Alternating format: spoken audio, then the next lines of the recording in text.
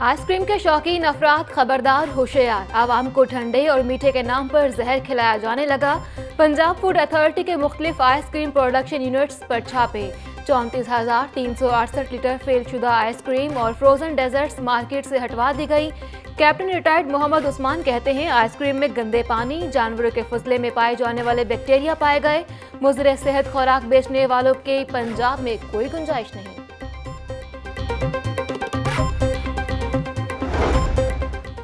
League کو ایک اور دھچکا تحریک انصاف نے لاہور سے نون لیگ کی ایک اور وکٹ گرا دی یو سی دو سو آٹھ کی لیڈی کونسلر سبھا عروج چوہان پی ٹی آئی میں شامل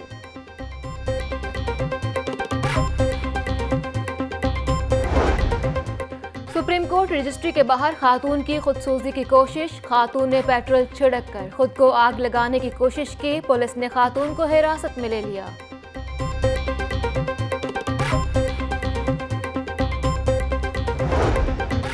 پرائمری اور مڈل کے امتحانات کے رجسٹریشن کا معاملہ، پنجاب ایگزیمیشن کمیشن نے طلبہ کے رجسٹریشن کی تصدیق کے لیے کمیٹی بنا دی۔